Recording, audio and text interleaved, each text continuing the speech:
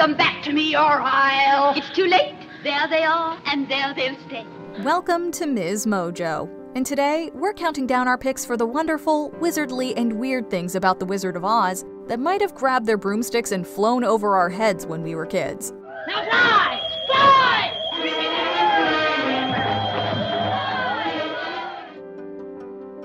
Number 10. The special effects are super impressive. Kids watching today, or even 30 years ago, wouldn't even flinch as Dorothy leaves her sepia home and enters the Technicolor Munchkin land. Toto, I have a feeling we're not in Kansas anymore. They might have even thought the initial lack of color was just a glitch. But imagine seeing it for the first time in 1939. That moment Dorothy steps out of her front door would have blown your mind. It's beautiful, isn't it? Just like I knew it would be. He really must be a wonderful wizard to live in a city like that. The movie was one of the frontrunners in special effects innovation, using cutting edge technology to bring L. Frank Baum's fantastic world to life. Apparently, it was a long process that posed plenty of challenges. However, it played a crucial role in making The Wizard of Oz an iconic piece of cinema history. She brings you good news, or haven't you heard? Out of Kansas, a miracle occurred. Number 9. Where are Dorothy's parents? When we first meet Dorothy Gale, she's pretty happy living on a farm with her Uncle Henry and Aunt Em. Come on, we'll go tell Uncle Henry and Auntie Em. Still, we can't help but wonder where her parents are. They're never mentioned in the film, so for all we know, they could be anywhere from chasing their own rainbows to no longer around. If you've read the books, you might remember that at one point it's briefly mentioned that Dorothy's mother passed away. Still, neither the book nor the movie truly delves into how Dorothy came to live with her aunt and uncle. Someone she's been very kind to. Someone she's taken care of in sickness. I had the measles once, hmm. and she stayed right by me every minute. Uh-huh. Also, are they biologically related, or does she just call them auntie and uncle as a term of affection? Because I love you all. And, oh, Auntie Em, there's no place like home.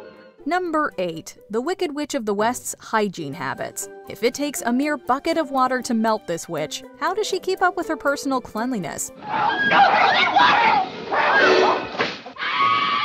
You cursed brat! Look what you've done! If she's not bathing or washing her hands, what is she doing? Has she conjured up some liquidless alternatives like the hand sanitizer gels we've all become dependent on these days? Or did she ask the wizard to think up some solution? Perhaps the real reason the Munchkins fear her is because they can always smell her before they see her. Also, is she cranky because she's always dehydrated? We admit we've fallen down the rabbit hole with this one, but once you think about it, it's kind of hard to stop.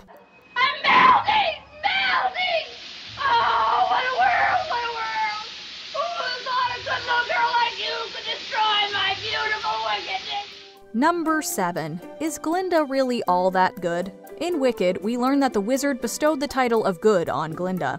When you bowed before his throne, he decreed you'd hence be known as Glinda the Good officially. However, who gave her 1939 MGM counterpart that name? We'd like to have a word. Firstly, she seems to enjoy the Munchkin celebratory march more than anyone else. Also, let's not forget who put the target on Dorothy's back. Or more correctly, those shoes on her feet. Keep tight inside of them. Their magic must be very powerful, or she wouldn't want them so badly. You stay out of this, Glinda, or I'll fix you as well. Oh, rubbish. You have no power here. Be gone before somebody drops a house on you, too. She probably made Dorothy's trip to the Emerald City that much harder. Also, if she could help Dorothy get home, was that whole she had to learn it for herself thing really necessary? You've always had the power to go back to Kansas. I have, Then why didn't you tell her before? Because she wouldn't have believed me. She had to learn it for herself.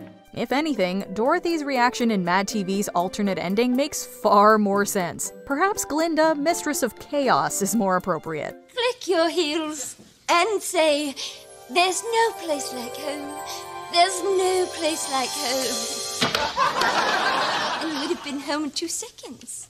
I could have been home two seconds after I got here! Number 6. Frank Morgan was kept very busy on set. We first see Frank Morgan as Professor Marvel, whom Dorothy meets when she runs away from home. They don't understand you at home. They don't appreciate you. You want to see other lands, big cities, big mountains, big oceans.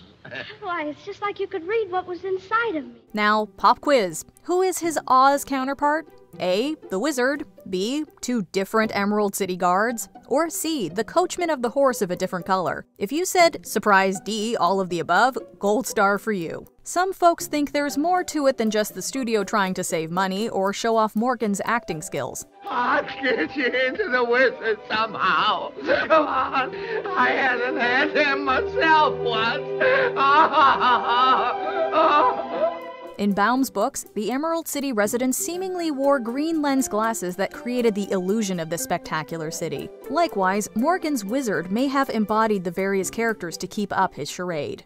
Pay no attention to that man behind the curtain. The great Oz has spoken. Number 5. Fly, fly, my pretties. Remember that scene where the Wicked Witch sends her flying monkeys to capture Dorothy? Take your army to the haunted forest and bring me that girl and her dog. Do what you like with the others, but I want her alive and unharmed.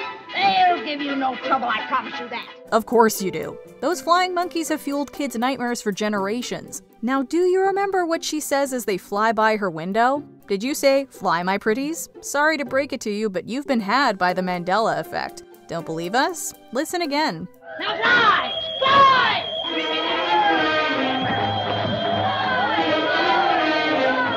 Why have so many of us misremembered it? Well, the witch tends to call Dorothy my pretty, so it seems we collectively just melded the two quotes together. It's not the only misremembered line either. Next time you watch, see if you can hear any others. Here, we'll get you started. But it wasn't a dream. It was a place. And you, and you, and you, and you were there. Oh, But you couldn't have been, could you?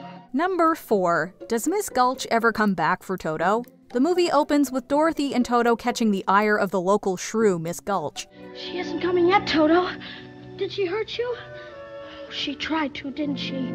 Come on, we'll go tell Uncle Henry and Auntie Em. Come on. However, Toto manages to escape. Then there's the twister, and so on. Fast forward to the end, Dorothy wakes up thinking she's been away for days. Only it seems not even one day has passed. That's one powerful subconscious. But I did leave you, Uncle Henry. That's just the trouble. And I tried to get back for days and days. There, there, lie quiet now. You just had a bad dream. Anyway, given how things were left with Miss Gulch, wouldn't she come back for Toto when she realized he'd escaped? Dorothy's guardians had obeyed the sheriff's order the first time. And we can't go against the law, Dorothy. I'm afraid poor Toto will have to go. Now you're seeing reason. Here's what I'm taking him in. So he can't attack me again. Oh, no, no, I won't let you take him. You go away. Oh, I'll bite you myself. Dorothy! Imagine if Dorothy woke up from her dream to find her beloved pet gone. Perhaps Miss Gulch did return, but this time Aunt Em really let her have it. Just because you own half the county doesn't mean you have the power to run the rest of us. For 23 years, I've been dying to tell you what I thought of you. And now, well, being a Christian woman, I can't say it. Number 3. Dorothy's shoes are meant to be silver. Baum's fans might spot nods to the books throughout the movie. For example, see the umbrella on Miss Gulch's bicycle? In the books, the witch, Gulch's Ozian alter ego, uses an umbrella, not a broomstick, which makes sense given her water aversion. The wooden sawhorse is also a nod to a book character, and readers will recognize the golden cap as the tool the witch uses to control her flying monkeys. Somebody always help that girl. but shoes are no shoes. I'm still great enough to conquer her. And woe to those who try to stop. However, one significant change stands out Dorothy's shoes. In the books, they're silver, but this famous pair clearly aren't. Well, if you'd invested in the latest Technicolor movie tech, wouldn't you want to make those shoes shine? When I gain those ruby slippers, my power will be the greatest in Oz. There is no denying that Ruby really pops. Number 2. Who's Glinda's Kansas alter ego? As we've seen, almost everyone Dorothy meets in Oz has a Kansas counterpart. Now look at Dorothy, you ain't using your head about, Miss Gulch. Think you didn't have any brains at all. I have so got brains. Well, why don't you use them? Indeed, this is teased in one of the earliest scenes where two of the farmhands advise Dorothy about her brains and courage. There was reportedly also meant to be a line about a machine with real heart, but it got cut. Still, one mystery remains. Who's Dorothy's real world Glinda? I am a witch. I'm Glinda, the Witch of the North. You are? Oh, I beg your pardon, but I've never heard of a beautiful witch before. We certainly don't meet anyone who fits the bill except maybe Aunt Em, but then wouldn't she be played by the same actress like all the others? Perhaps she represents Dorothy's mother. Glinda was apparently inspired by Baum's mother in law, author and advocate Matilda Joslyn Gage, so there's definitely some motherly connection there. Will you help me? Can you help me? You don't need to be helped any longer. You've always had the power to go back to Kansas. I have. Then why didn't you tell her before? Because she wouldn't have believed me. Before we unveil our top pick, here are a few honorable mentions. Dorothy's daughter hearts the Tin Man's son. Jack Haley's Tin Man found his heart so his son, Jack Haley Jr., could give it, for a brief time at least, to Liza Minnelli. Dorothy's hair length changes. Is this part of the magic of Oz? Self styling hair would save us a few trips to the salon. My. People come and go so quickly. A Disney connection. In If I Only Had a Heart, we briefly hear Snow White voice actress Adriana Caselotti. She's uncredited due to her contract with Disney. Picture me a balcony above a voice sings low. Wherefore art thou, Romeo? Dorothy's dress has pockets. If we met the wizard, we might have asked for dresses with pockets to be more common. That's awfully nice of you. My life has been simply unbearable. Oh, well, it's all right now. The wizard will fix everything. Scarecrow recites Pythagorean theorem. Or does he? Hey, it's only his first day with a brain. We spent years in school. We're not even sure we would get it right. Sum of the square roots of any two sides of an isosceles triangle is equal to the square root of the remaining side. Oh, joy! Rapture! I've got a brain! Before we continue, be sure to subscribe to our channel and ring the bell to get notified about our latest videos. You have the option to be notified for occasional videos or all of them. If you're on your phone, make sure you go into your settings and switch on notifications. Number 1. Wouldn't you be mad if you were in the Wicked Witch's shoes? Or weren't in them, to be more accurate. Think about it. She's just found out that her sister had been flattened by a falling house. She thinks about those ruby shoes and how she'll fondly remember her late sister every time she clicks her heels together. No, it was an accident. I didn't mean to kill anybody. Well, my little pretty, I can cause accidents too. Aren't you forgetting the ruby slippers? The slippers. Yes, the slippers.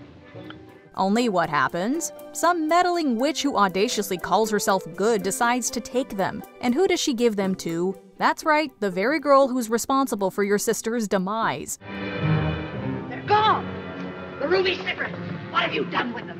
Give them back to me or I'll. It's too late. There they are, and there they'll stay.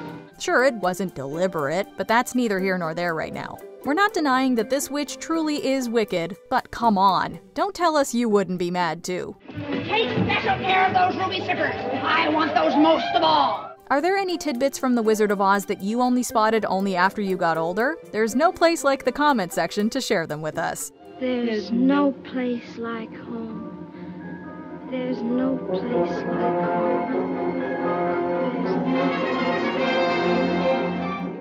Do you agree with our picks? Check out this other recent clip from Ms. Mojo.